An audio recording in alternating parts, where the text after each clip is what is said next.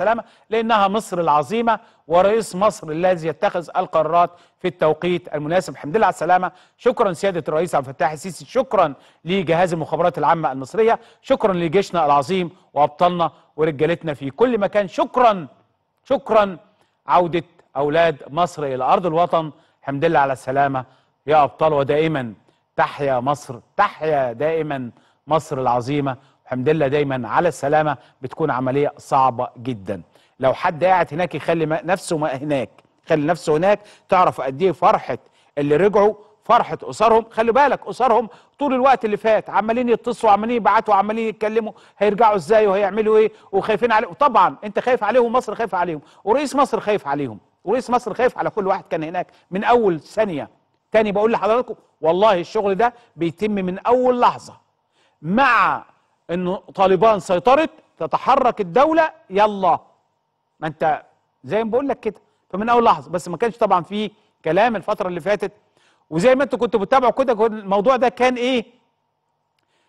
يعني بت... لأنه أنت عندك ولادك هناك. ويرجعوا ولادك. ورجعوا ولادك. والحمد لله على سلامتهم. تاني تاني. لأنها مصر العظيمة. الحمد لله على السلامة. ودائما تحيا مصر. بلادي. بلادي لك حبي وفؤادي. اسلمي يا مصر إنني الفداء.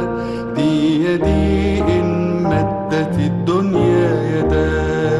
أبدا لن تستكيني أبدا. إنني أرجو مع اليوم غدا. قلبي وعزمي للجهاد ولقلبي أنت بعد الدين دين لك يا مصر السلامة وسلاما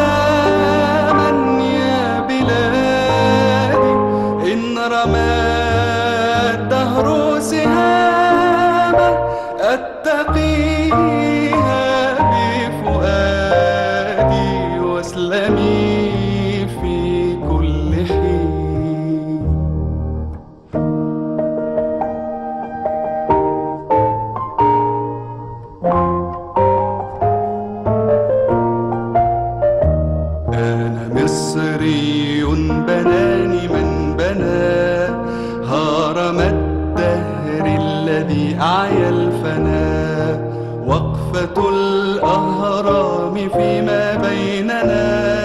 لصروف الدهر وقفتي أنا. في دفاعي وجهادي للبلاد. لا أميل لا أمل لا ألين. لك يا مصر السلامة وسلاما